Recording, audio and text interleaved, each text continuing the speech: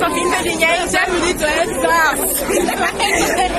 Abbiamo bisogno che questa cosa finisca assolutamente, perché non possiamo perdere altre persone.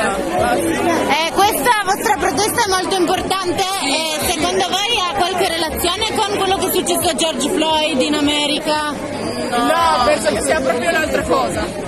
Ok, però è vero che comunque la polizia uccide in tutti gli stati, lì c'è un problema di razzismo. Quello c'è sempre, quello c'è sempre, il razzismo ci sarà sempre in qualunque luogo, qualunque, ci sarà sempre. Sia pure tra bambini, qualunque qualunque cosa, sempre. Ok, quindi per voi questa è una manifestazione di solidarietà ai vostri fratelli e sorelle in Nigeria per dire stop SARS, però è anche, cioè, secondo me è molto forte perché eh, siete venuti in piazza Castello in Italia e quindi Perché è anche nessuno ne un'occasione. parla, perché nessuno vuole far sentire la nostra voce. Ci chiudono e questo non va bene. Perché quando le cose vanno bene a loro, quando c'è stato il coso di George Floyd, che erano tutti lì, Black Lives Matter andava bene, però quando poi succede qualcosa in Africa, lì nessuno ne parla.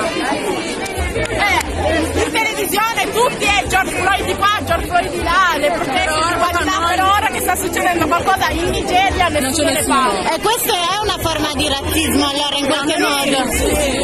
Perché quando muoiono tanti neri non gli interessa a nessuno se muoiono in Nigeria. Se invece muoiono in America, lì allora sì, perché in America poi diventi popolare per aver fatto una cosa buona. E anche gli influencer ne stanno parlando, e loro non stanno facendo niente. Ok, grazie.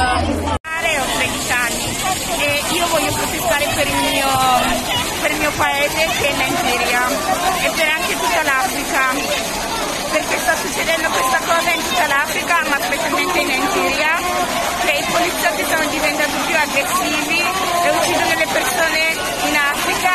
È successo questa cosa perché hanno iniziato a protestare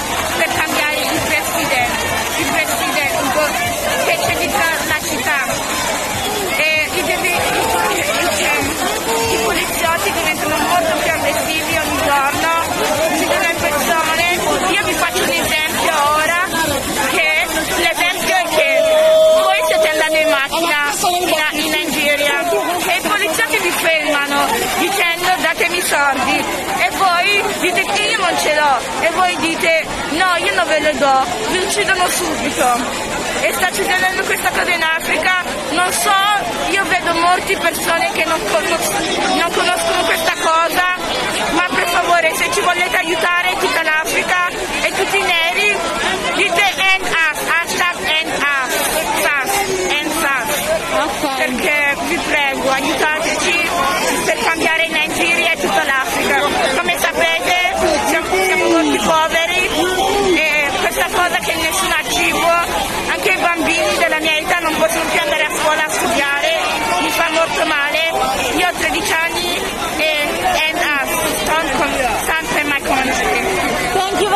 much.